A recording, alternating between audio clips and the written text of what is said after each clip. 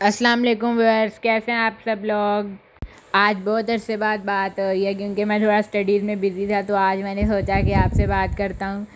क्यों, क्योंकि मैं बहुत एक्साइटेड हूँ, क्योंकि आज जो है वो मम्मा के किचन में सब, मेरी सबसे favourite dish chicken fried rice और उसके साथ चिकन चिली ड्राई बन रही है, जो कि मुझे बहुत पसंद है। तो चलें देखते हैं ये कैसे बनती है। जी व्यूअर्स, मोहित को चिकन चिली ड्राई के साथ चिकन फ्राइड राइस और बहुत पसंद है, ये इसकी फेवरेट डिश है और इसके अलावा दो चीज़ों में मोहित की जान है। एक ममा की बनाई हुई हलीम और एक चिकन फ्राइड राइस हलीम की रेसिपी भी मैं जल्दी शेयर करने वाली हूँ, जो कि बहुत यूनिक है। आज मैं चिकन चिली ड्राई के साथ चिकन फ्राइड राइस बना रही हूँ, जो कि बिल्कुल आपको रेस्टोरेंट स्टाइल में इसकी अथेंटिक रेसिपी मिलेगी और आपको बहुत पसंद आएगी। इसको ज़रूर ट्राई कीजिएगा। चलिए आइए, इसको बनाना शुरू करते हैं और देखते हैं कि ये कैसे बनती है। चिकन चिली ड्राई बनाने के लिए मैंने 250 ग्राम बोनलेस चिकन लिया है और इसकी लंबी स्ट्रिप्स जो हैं, उनको स्ट्रिप्स में काट लिया जूलियन कटिंग में, लेकिन लंबी स्ट्रिप्स हैं। इस तरह से इनको काट लिया और इसके अलावा टू टेबल स्पून कॉर्नफ्लोर लिया है मैंने। और सब्ज़ मिर्चें हैं ये ये मोटी वाली ग्रीन सब्ज़ मिर्चें हैं, इस तरह वाली, इनको मैंने काट लिया है लंबा लंबा और ये दस बारह जो है, वो मैंने यूज़ की हैं। आप ज़्यादा भी यूज़ कर सकते हैं। एक अंडा लिया हमने। और इसके अलावा टू टेबल स्पून विनेगर लिया है मैंने। वन टीस्पून ऑयस्टर सॉस लिया है।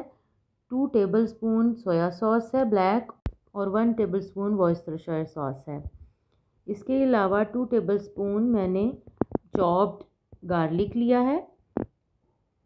सॉल्ट और काली काली मिर्च जो है, ये अपने से टेस्ट के अकॉर्डिंग यूज़ करेंगे, थोड़ी यूज़ करेंगे क्योंकि सॉसेज में भी और इसके अलावा हाफ़ टी स्पून जो है वो मैंने क्रश चिलीज़ ली हैं।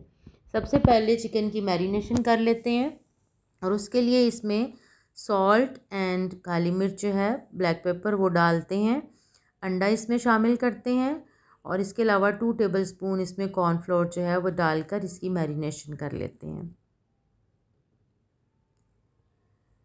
इसको मिक्स कर लेंगे और इसको दस मिनट के लिए जो है वो हम मैरिनेशन के लिए छोड़ देंगे।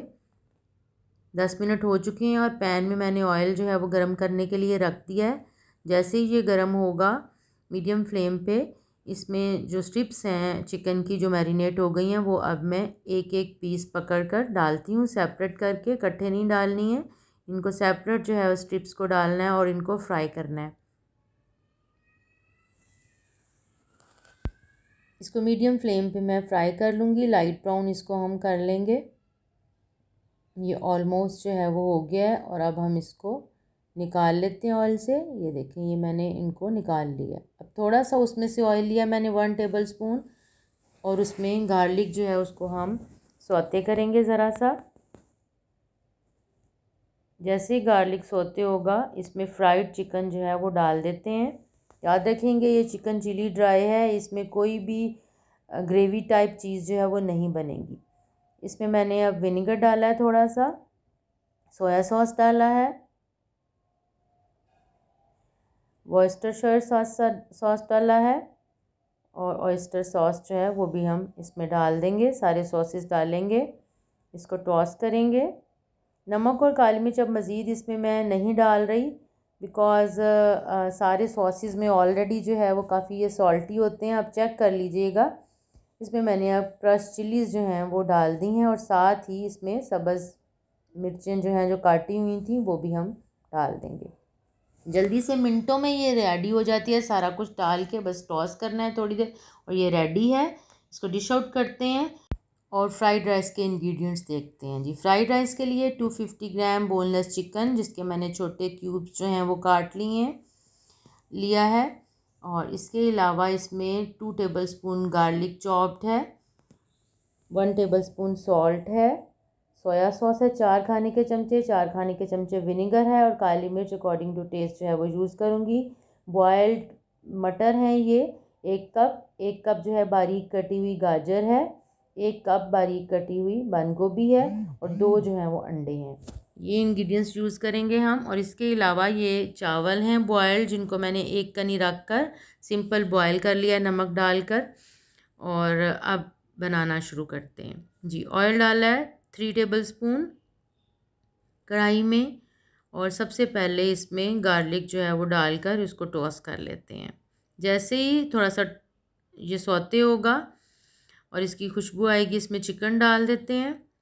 चिकन के पीसीस को हम इसका कलर चेंज होने तक जो है वो फ्राई करते हैं। जी चिकन फ्राई हो रहा है और इसका कलर आहिस्ता आहिस्ता जो है वो चेंज हो रहा है।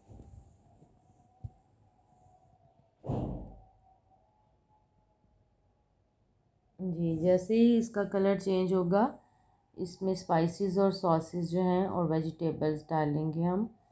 सबसे पहले इसमें मैं नमक डाल देती हूँ और साथ इसके काली मिर्च है वो भी डाल देते हैं। थोड़ा सा कुक करते हैं और अब इसमें वेजिटेबल्स जो हैं वो डाल देते हैं। मटर, गोभी, गाजर, सारा कुछ जो है वो मैंने इसमें डाल दिया।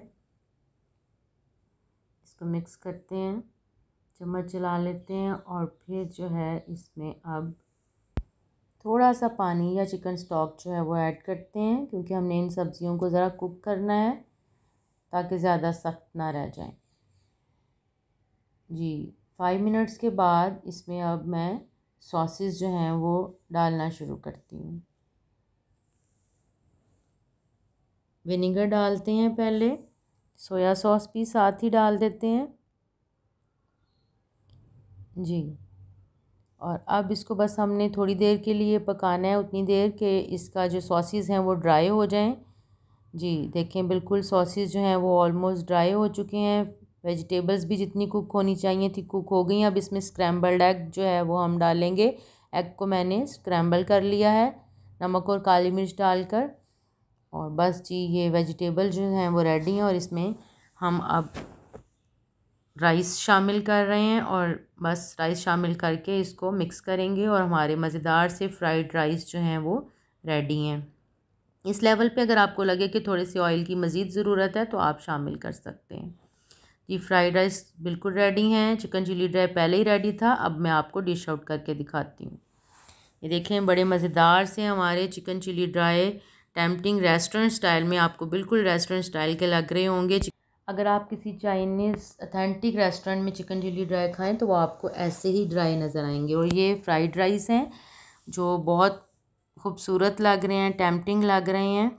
और दोनों चीज़ें माशाल्लाह से बहुत अच्छी बनी हैं, आप इनको ज़रूर ट्राई कीजिएगा। उम्मीद है आपको ये दोनों डिशेस बहुत पसंद आएँगी।